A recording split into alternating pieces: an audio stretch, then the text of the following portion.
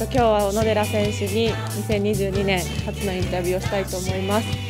でホームゲームお疲れ様でした。お疲れ様でした。今日年明けのリーグ再開がホームゲームとなったんですけど、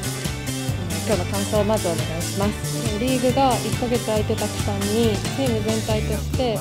相手の攻撃からの守備の面を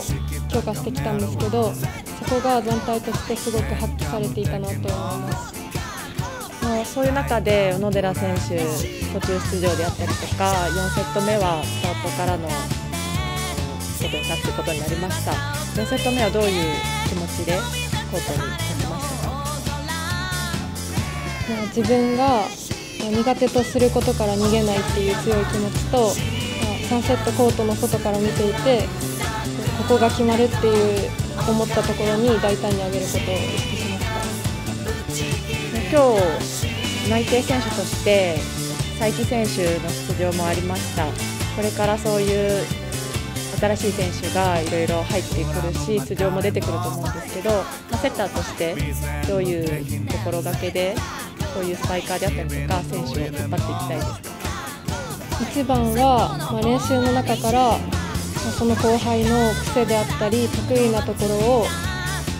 見ながらその得意なところをコートの中で生かしてあげられるように頑張っていきたいです。はい、ありがとうございます。あの2022年初ということで小野寺選手のこの1年の目標をぜひ聞かせてください。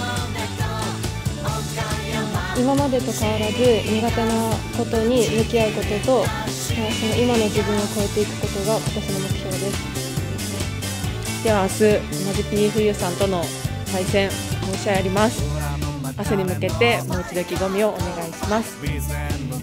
今日の反省を生かしてまたチーム全員で勝ちに行きます。応援よろしくお願いします。